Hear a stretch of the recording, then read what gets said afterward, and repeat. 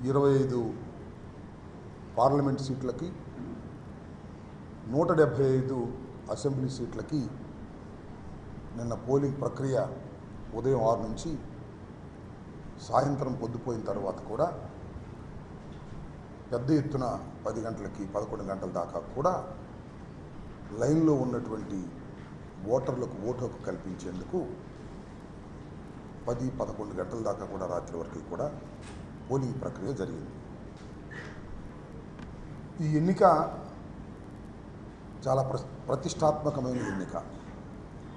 ఈ ఎన్నికే కాదనుకోండి ప్రతి ఎన్నికలు కూడా చాలా ప్రతిష్టాత్మకంగా భావించేటటువంటి ఎన్నికలు. కానీ నిన్న జరిగినటువంటి ఎన్నిక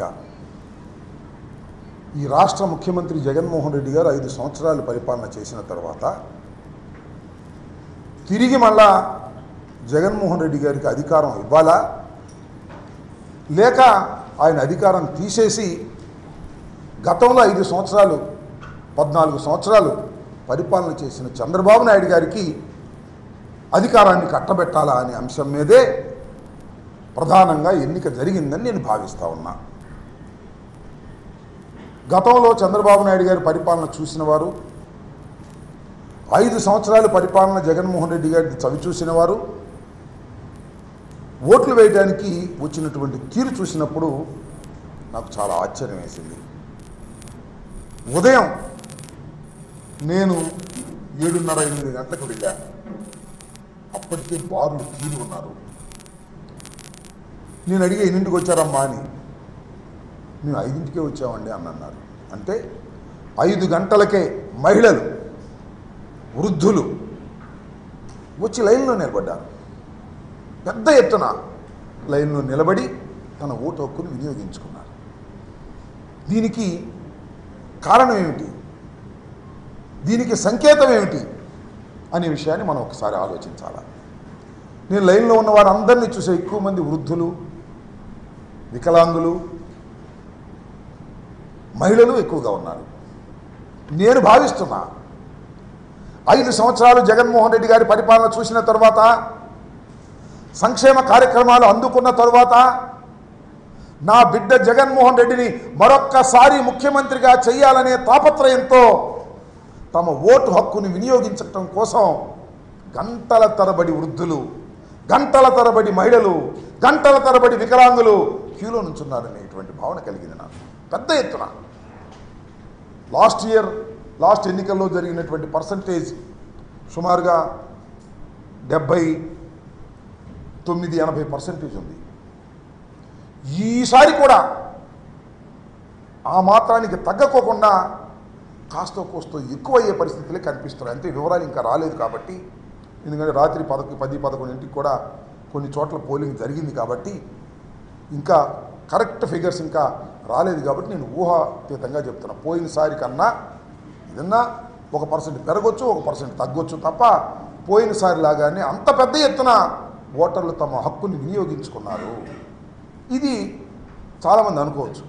పూర్వం మాకు కూడా నేను కాంగ్రెస్ పార్టీలో ఉన్నప్పుడు చాలాసార్లు పోటీ చేసినప్పుడు ప్రభుత్వ వ్యతిరేకత ఉంటే ఎక్కువ పర్సంటేజ్ ఓట్ అవుతుంది అనేటువంటి భావన ఉన్నది. ఇవాళ నేను మనవి చేస్తున్నా పోయినసారి కన్నా ఎక్కువ అయితే అది పాజిటివ్ ఓటు. పాజిటివ్గా జగన్మోహన్ రెడ్డి గారిని తిరిగి మళ్ళీ అధికారంలోకి తీసుకురావాలి. మా సంక్షేమ కార్యక్రమాలను అమలు చేసుకోవాలి. సుఖవంతంగా బతకాలి అనేటువంటి భావనతో బడుగు బలహీన వర్గాలు మైనారిటీసు ఎస్సీలు బీసీలు సంక్షేమాన్ని అందుకున్నటువంటి అనేక మంది ఓటర్లు వచ్చి తమ బాధ్యతను నిర్వహించుకొని మళ్ళా తిరిగి జగన్మోహన్ రెడ్డి గారిని ముఖ్యమంత్రిగా చూడాలనేటువంటి తాపత్రయం వారి ముఖాల్లో నిన్న నిన్నే కాదు కనిపించింది. నేను క్యూలో నుంచినప్పుడు కనిపించడమే కాదు. ప్రచారానికి వెళ్ళినప్పుడు కూడా కనిపించింది. నేను చూసా ఎనభై తొమ్మిదిలో మొదటిసారి పోటీ చేశా. ఆ తర్వాత రెండుసార్లు మినహా ఇది ఆరోసారి పోటీ చేస్తున్నా. అన్ని ఎన్నికలు చాలా సన్నిహితంగా చూసా పోటీ చేయని ఎన్నికలు కూడా. మొదటిసారి ఈసారి మాత్రమే ప్రతి గ్రామంలోనూ మహిళలు జెండాలు పట్టుకొని కొన్ని గ్రామాల్లో అయితే ఆశ్చర్యం. పురుషుల కన్నా మహిళలే నా ప్రచారంలో పాల్గొన్నారు. వ్యాన్ వెళ్తుంటే నా వ్యాన్ ముందు మహిళలు వైఎస్ఆర్ కాంగ్రెస్ పార్టీ జెండాలు పట్టుకొని జై జగన్ అంటూ నినదిస్తూ ఉరుకులు వే- వేశారు పరుగులు తీశారు. అందరూ మహిళలు. ఇదంతా మహిళల్లో ఉన్న సంకేతం. నేను ఒకటే మనవి చేస్తున్నా. మహిళలు పెద్ద ఎత్తున సెవెంటీ పర్సెంట్ ఆఫ్ మహిళలు ఏ కులమైనా ఏ మతమైనా జగన్మోహన్ రెడ్డి గారికి ఓటు వేశారని నేను విశ్వసిస్తున్నా. ఎందుకో తెలుసా? జగన్మోహన్ రెడ్డి గారు మహిళలకు సాధికారత కల్పించాడు. అమ్మఒడి మహిళలకు ఇచ్చాడు. డోక్రా మహిళ రుణమాఫీ మహిళలకు ఇచ్చాడు. ఇళ్ళ పట్ట మహిళలకు ఇచ్చాడు. ఇట్లా ఏది చేసినా మహిళల ఖాతాల్లోకి చేసినటువంటి వ్యక్తి జగన్మోహన్ రెడ్డి గారు. అంటే మహిళలు ఒక ఆర్థిక స్వాలంబన కోసం ఒక సాధికారత సాధించడం కోసం జగన్మోహన్ రెడ్డి గారు కృషి చేశారు. వారికి ఆ విధంగా సహాయం చేశాడు. కాబట్టి మా జగన్మోహన్ రెడ్డి గారికి మేము సహాయం చేయాలి మళ్ళీ అధికారంలోకి తీసుకురావాలి అనేటువంటి ఉద్దేశంతో మహిళలు పెద్ద ఎత్తున చరిత్రలో ఎప్పుడూ లేని విధంగా మహిళలు జెండాలు పట్టుకొని వచ్చారు. వేలు మీద ముద్ర వేయించుకున్నారు. ఓటు ఫ్యాను గుర్తుకు వేసి వెళ్ళారు అని నేను పూర్తిగా విశ్వసిస్తున్నా. అది నా మనసుకు తట్టింది. ప్రతి చోటకి వెళ్ళినప్పుడని మనవి చేస్తున్నా. అంత పెద్ద ఎత్తున. కానీ విని ఎరుగని రీతిలో ఒక ప్రభుత్వ పాజిటివ్ ఓటు ఇంత పెద్ద ఎత్తున ఉండటం అనేది చరిత్రలో చాలా అరుదైనటువంటి సంఘటన. ఐదు సంవత్సరాలు పరిపాలన చేసిన తర్వాత నాకు అది జరగలేదు నాకు ఇది జరగలేదు అనేటువంటి ప్రభుత్వ వ్యతిరేకత ఉంటుంది. కానీ ఈ ప్రభుత్వంలో ప్రభుత్వ వ్యతిరేకతే లేదు. మొత్తం ప్రభుత్వం యొక్క సానుకూలత. మళ్ళా ఈ ప్రభుత్వాన్ని నిలబెట్టుకోవాలి. మళ్ళా జగన్మోహన్ రెడ్డి గారిని రెండవసారి ముఖ్యమంత్రిగా చేయాలి అనేటువంటి తపన తాపత్రయం మాత్రమే ఓటర్లో నాకు కనిపించిందని కూడా ఈ సందర్భంగా మనవి చేస్తున్నాం. అంత పెద్ద ఎత్తున ఓటర్లు పాల్గొన్నందుకు వారందరికీ నా హృదయపూర్వకమైనటువంటి ధన్యవాదాలు వైఎస్ఆర్ కాంగ్రెస్ పార్టీ తరఫున నేను తెలియపరుస్తున్నానని కూడా ఈ సందర్భంగా చెప్తున్నా. చాలా పెద్ద ఎత్తున పాల్గొన్నటువంటి ప్రజలు చాలా సంతోషంగా పాల్గొన్నటువంటి సందర్భాలు నాకు కోకొల్లగా కనిపించాయి. మరొక విషయాన్ని కూడా చెప్తే చాలామంది మేము గెలుస్తామని తెలుగుదేశం వాళ్ళు ఏదో సాధిస్తామని కొన్ని ఎల్లో పత్రికలు ఆ ఏబిఎన్ ఆంధ్రజ్యోతి లేకపోతే ఈనాడు లేకపోతే టీవీ ఫైవ్ లేకపోతే తెలుగుదేశం చంద్రబాబు నాయుడు గారు పవన్ కళ్యాణ్ గారు ఎంతమంది వచ్చినా నేను ఇవాళ చెప్తున్నాను నాలుగవ తారీఖు పన్నెండు గంటలకు చూడండి. అత్యధిక మెజారిటీతో జగన్మోహన్ రెడ్డి గారు ముఖ్యమంత్రి కాబోతున్నారు. దీన్ని మీరు విశ్వసించండి కూడా ఈ సందర్భంగా నేను మనవి చేస్తున్నా. అదేవిధంగా సత్యనపల్లిలో కూడా నాకు ప్రగాఢమైన విశ్వాసం ఉంది. టౌన్లో కానీ వివిధ మండలాల్లో కానీ చాలా పెద్ద ఎత్తున ఓటర్లు పాల్గొన్నారు పాజిటివ్గా. మళ్ళీ తిరిగి ఒక మంత్రిగా పనిచేసిన నాకు పెద్ద మెజార్టీతో గెలిపిస్తారనే విశ్వాసం కూడా ఉందని కూడా ఈ సందర్భంగా నేను మనవి చేస్తున్నాను.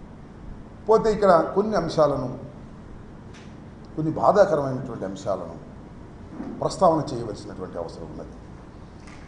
అదేమిటంటే చాలా పెద్ద ఎత్తున హింస ప్రజ్వరిల్లింది.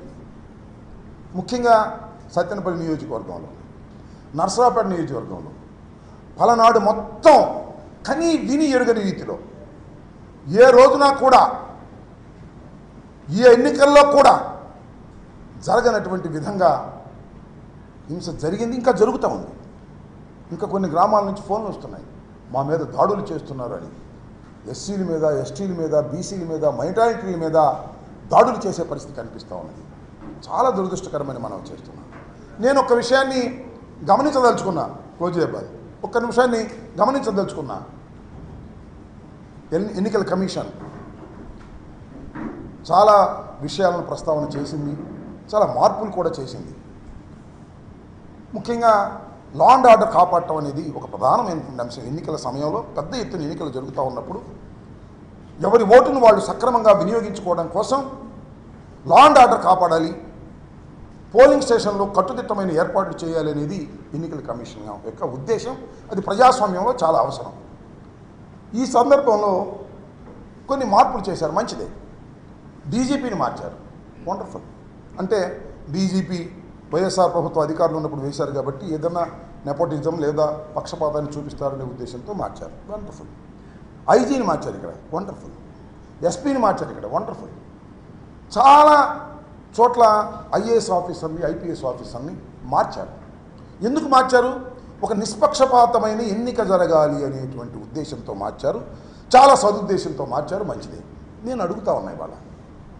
ఇంతమందిని మార్చారే? ఇన్ని మార్పులు చేశారే? నిష్పక్షపాతంగా జరిగిందా? లా అండ్ ఆర్డర్ కాపాడబడిందా? ఎంత బాధతో చెప్తున్నానంటే బోత్ సైడ్స్.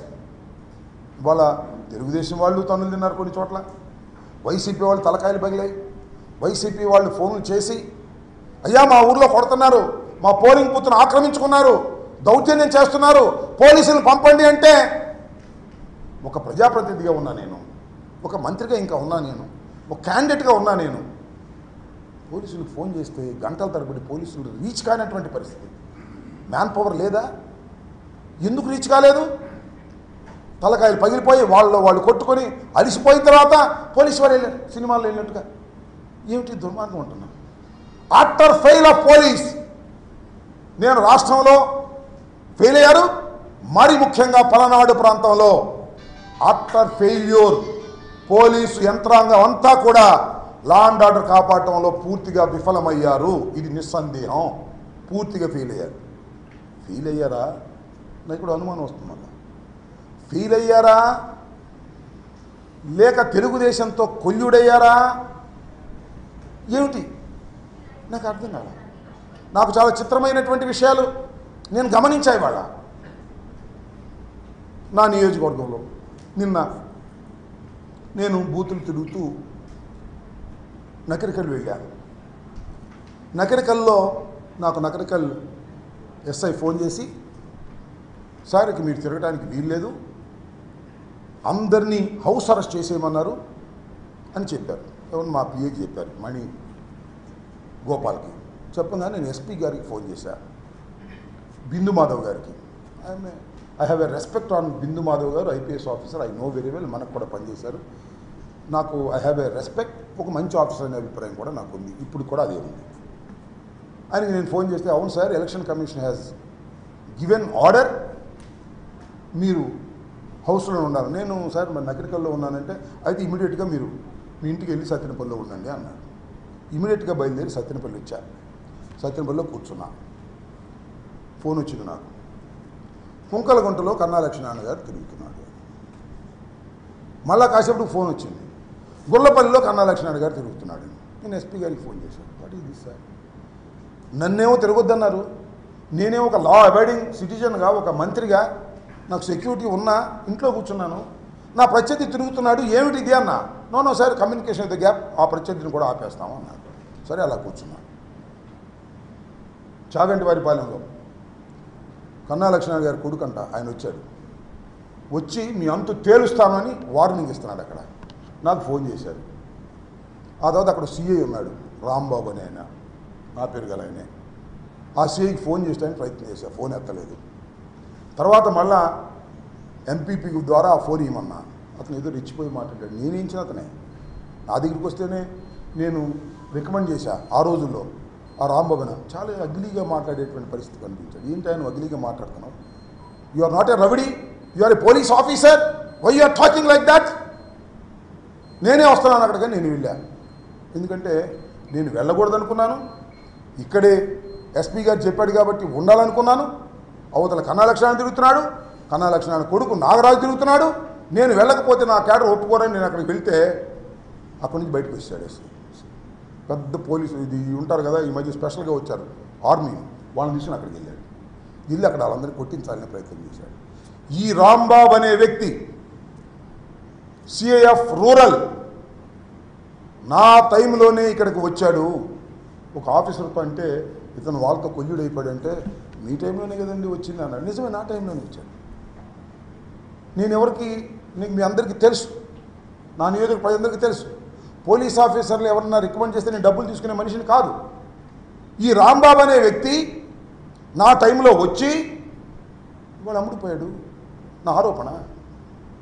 నాగరాజు దగ్గరికి వెళ్ళి డబ్బులు తెచ్చుకున్నాడు నన్ను కూడా ఎక్స్పెక్ట్ చేశారు. క్యాండిడేట్ నన్ను చాలామంది అడిగారు ఏమంటే పోలీసులకి ఏదో డబ్బులు ఇవ్వాలంటని. నో! ఐ మే మినిస్టర్ నా రికమెండేషన్తో వచ్చినటువంటి పోలీస్ ఆఫీసర్లను కొనేటటువంటి దుస్థితి నాకు పట్టదు. నేను చేయను అలా అని చెప్పా. ఆ పోలీస్ ఆఫీసర్ ఐదు లక్షలు ఆరు లక్షలు తీసుకుని కొల్యూడైపోయి వారికి సపోర్ట్ చేసే పరిస్థితి వచ్చిందంటే ఏం చేయాలి ప్రజాస్వామ్యంలో? ఒక మంత్రిగా ఒక సిన్సియర్గా పనిచేసిన మంత్రిగా పోలీస్ ఆఫీసర్ల పోస్టింగ్లో డబ్బులు తీసుకొని మంత్రిగా ఏం చేయాలి అని అడుగుతా ఉన్నా. మీకు చాలా చిత్రం. దమ్మాలపడిన గ్రామంలో. ఒక బూత్లో ఈ రాంబాబు అనే వ్యక్తి అక్కడ ఒక పోలీసుని పెట్టాడు. మళ్ళీ అవతల ఉన్న బూత్ నాకు అనుకూలంగా ఉండేటువంటి బూత్ రెడ్డీస్ ఉంటారు. అక్కడ మాత్రం ఆరుగురిని పెట్టాడు. దిస్ ద ప్లాన్ డబ్బులు తీసుకుని ప్లాన్ చేసే పరిస్థితి. ఈ బూత్లో ఏం చేశారు? వచ్చితే ఓటర్ వేయడానికి వస్తే స్లిప్ తీసుకుని ఎంపీకి వేయండి. మీ ఇష్టం వచ్చే వాళ్ళకి. ఎమ్మెల్యేకి మాత్రం కన్నాకు మేమే నొక్కుతాం అని నొక్కారు సుమారుగా వెయ్యి ఓట్లు నొక్కారు అక్కడ. I'm going to report the election officer repoll కోసం అడుగుతున్నా ఏం చేస్తారో చూద్దాం. నారినిపాడు మా అల్లుడు Upesh is a chief election agent. వెళితే అద్దాలు బాగుకొట్టారు ఫోన్ చేస్తే ఎత్తరు. పోలీసులు వెళ్ళమంటే వెళ్ళరు colluded with Narinipadu Telugu Desam group. వాళ్ళతో కొల్యూడ్ అయిపోయి డబ్బులు తీసుకుని ఆ సిఐ అందరిని అంటలే నేను. ఆ CI Rambabu colluded with Telugu Desam. అదేమంటే మీరేం చేయాలి అంటున్నారు? అది వేరే అంశం. Colluded with Telugu Desam taking money purchased by Telugu Desam is doing like that ఏంటి ఇంకా ప్రజాస్వామ్యంలో? రక్షణ లేకపోతే? అయ్యా ఓటేస్తుంటే కొడుతున్నారు నాకు రక్షణ కావాలి అని అడుగుతుంటే పోలీసులు ఫోన్ చేస్తే పంపనటువంటి దుస్థితిలో ఉన్నామే? ఒకటి కాదు రెండు కాదు. కుంకలగుంట చీమల మర్రి నారినపాడు తమ్మాలపాడు తొండపి గోళ్ళ ఇది మన గుళ్ళపల్లి మాదల ఇవాళ కూడా మాదలతో జరిగే పరిస్థితి కనిపిస్తూ ఉంది. వాట్ ఇస్ మీరు మార్చారు పోలీస్ ఆఫీసర్లు ఎలక్షన్ కమిషన్. సిన్సియర్గా చేసేవాళ్ళని పెట్టారు మీరు. ఏంటి జరిగిందని అడుగుతా ఉన్నా. రివ్యూ ఇట్ పోలీస్ ఏం చేసిందనే దాని మీద రివ్యూ జరగాలి ఎలక్షన్ కమిషన్ అని కూడా మనం చేస్తున్న దుర్మార్గమైనటువంటి రాజకీయాలు చేశారు ఇవాళ మేము ప్రభుత్వంలో ఉన్నామో లేదో మాకు అర్థం కానటువంటి పరిస్థితి న్యూట్రల్ అపోజిషన్లో కూడా మాకు ఇంతకన్నా బాగా జరిగిందని కూడా మనం చేస్తున్నాం. ఆర్తనాదాలు చేస్తున్నటువంటి వైసీపీ కార్యకర్తలకి పోలీసుల్ని పంపలేని దీన స్థితిలో ఇవాళ మేము ఉన్నాం అభ్యర్థులు అంటే నాకు నిజంగా బాధేస్తుంది గుండె తరిగిపోతుందని కూడా మనం చేస్తున్నాం. ఇంత దుర్మార్గమైనటువంటి పరిపాలన ఇక్కడ జరిగింది ఈ ఎలక్షన్ కమిషన్ టైంలో అనేది నాకు బాధ. సిఐ అతడు డిఎస్పీ ఎత్తాడు ఎస్పీ ఎత్తాడు. ఎస్పీ గారు పాపం మాట్లాడుతూ ఉన్నాడు. పంపిస్తున్నాను అంటున్నాడు. ఐదు నిమిషాలు వెళ్తానంటున్నారు ఐదు కాదు గంట అయినా కూడా రీచ్ కానటువంటి పరిస్థితి. ఇంత దుర్మార్గమైనటువంటి పరిస్థితులు ఇవాళ కలగటం చాలా శోచనీయమైనటువంటి ఇది బాధాకరమైనటువంటి అంశం అని కూడా ఈ సందర్భంగా నేను మనవి చేస్తూ ఇది నేను మళ్ళా ఎలక్షన్ కమిషన్ నిన్న ఒక స్టేట్మెంట్ ఇచ్చారు. నో రీపోలింగ్ అని. నేను again I'm asking election commission through media Dammalapadu Narinipadu Chimalamarri. Already నేను అప్లై చేశాను. వెబ్ కెమెరాస్ పెట్టారు. ఎలక్షన్స్లో వెబ్ కెమెరాస్ ఎందుకు పెడతారు? అక్కడ సరిగ్గా ఎవడ ఓటు వాడు వేసుకున్నాడా లేదని దానిలో చూస్తారు. అది చూసి ఎవడ ఓటు వాడు వేసుకోలేదనుకో రీపోలింగ్ పెట్టాలి కదా. ఎందుకు పెట్టింది? I request the election commission of Andhra Pradesh please verify the web cameras and give the decision don't take మేము ఈ రీపోలింగ్ పెట్టము అనేది ప్రజాస్వామ్యంలో కరెక్ట్ కాదు. మా విన్నపాలు తీసుకోండి. తీసుకొని పరిశీలించండి. పోలింగ్ ఆఫీసర్స్ కూడా కొల్యుడైపోయారు కొన్ని చోట్ల పోలీసులతో పాటు. డబ్బులు ఇచ్చారో బెదిరిపోయారో భయపడ్డారో వాళ్ళు చెప్పినట్టు విన్నారు వాళ్ళు రాయలేదు పుస్తకంలో. అది కాదు ప్రధానమైంది. You see the web cameras web కెమెరాలో చూసి ఎవడి ఓటు వాడు వేసుకుంటే మాకేం అభ్యంతరం లేదు. అందరి ఓటు ఒకడే నొక్కుతుంటే దాన్ని మీరు ఎలా లేవ చేస్తారు? వెబ్ కెమెరాలు పెట్టింది ఎందుకు? దయచేసి I request the election commission go through the web cameras. మేము ఎక్కడైతే మేము కంప్లైంట్ ఇచ్చామో అవి ఒక్కసారి వెబ్ కెమెరా చూడండి. చూసి దానిలో తప్పు జరిగిందని స్పష్టంగా కనిపిస్తే రీపోల్ చేయాల్సినటువంటి బాధ్యత ఉంది. ప్రజాస్వామ్యం ఇదని కూడా ఈ సందర్భంగా నేను మనవి చేస్తున్నా. కాబట్టి దమ్మాలపాడు రెండు వందల యాభై మూడు రెండు వందల యాభై నాలుగు. నారినపాడు మూడు వందల రెండు వందల ముప్పై ఆరు రెండు వందల ముప్పై ఏడు. చీమల మరి నూట తొంభై ఏడు నూట తొంభై ఎనిమిది. ఈ ఆరు బూత్స్లో I'm requesting I'm demanding the election commission to go for a repolling in a short time ఇవన్నీ కూడా వెబ్ కెమెరాలు చూసి వాళ్ళకి మీరు రీపోల్ చేసే అవకాశం ఇస్తే ప్రజలు మళ్ళీ నిజంగా తమ ఓటు హక్కును వినియోగించుకుంటారు ఇక్కడ ఓటు హక్కును వాళ్ళు వినియోగించుకోలేదు. వారి బదులు ఎవరో నాబోటి వాడు నొక్కేశాడు. ఇది మీరు వెబ్ కెమెరాలో చూస్తే అర్థమవుతుంది. ఇది చాలా న్యాయమైనటువంటి డిమాండు కోరిక ప్రజాస్వామ్యంలో. కాబట్టి దీన్ని కన్సిడర్ చేయాలని మీ ద్వారా మీడియా ద్వారా ఎలక్షన్ కమిషన్ కోరుతున్నాను. ఆల్రెడీ ఈ మూడు గురించి కూడా డిస్ట్రిక్ట్ ఎలక్షన్ అథారిటీస్కి నేను ఆల్రెడీ రిప్రజెంటేషన్ ఇచ్చాను. ఇవాళ ఈవినింగ్ కూడా స్టేట్ ఎలక్షన్ కమిషన్ని కలవాలనే ప్రయత్నం చేస్తున్నాను కలుస్తాను. ప్రజాస్వామ్యంలో ఇది అవసరమని ఈ సందర్భంగా నేను మీ ద్వారా వారికి చెప్పదలుచుకున్నాను. ఫైనల్గా ఒకటే చెప్పదలుచుకున్నాను. ఎన్ని జరిగినా ఎన్ని కుట్రలు చేసినా ఎన్ని తగాదాలు చేసినా మైనారిటీస్ మీద ఎస్సీస్ మీద బీసీస్ మీద ఎన్ని దాడులు జరిగినా గెలిచేది మాత్రం జగన్మోహన్ రెడ్డి గారే మళ్ళా పరిపాలన కూడా జగన్మోహన్ రెడ్డి గారే చేస్తారు. మళ్ళా పరిపాలనలో మంచి కార్యక్రమాలు చేస్తారు. మీరు నాలుగో తారీఖు మీరే చూడబోతున్నారు. రెచ్చిపోయే ఆ మూకలకు చెప్తున్నాను. జగన్మోహన్ రెడ్డి గారే మళ్ళా ముఖ్యమంత్రి. బ్రహ్మరుద్రాదు లేకమైన చంద్రబాబు ముఖ్యమంత్రి కాలేడు. ఎందుకంటే చంద్రబాబు మోసగాడు. చంద్రబాబు చెప్పింది ఏ పని చేయలేదు. పద్నాలుగు సంవత్సరాలు చంద్రబాబు ప్రజల్ని మోసం చేశాడు. మేనిఫెస్టో పెట్టి మేనిఫెస్టోలో మోసం చేశాడు. ఒక్కటి కూడా చేయలేదు. నేను అందుకే చాలా సందర్భాల్లో చెప్తున్నా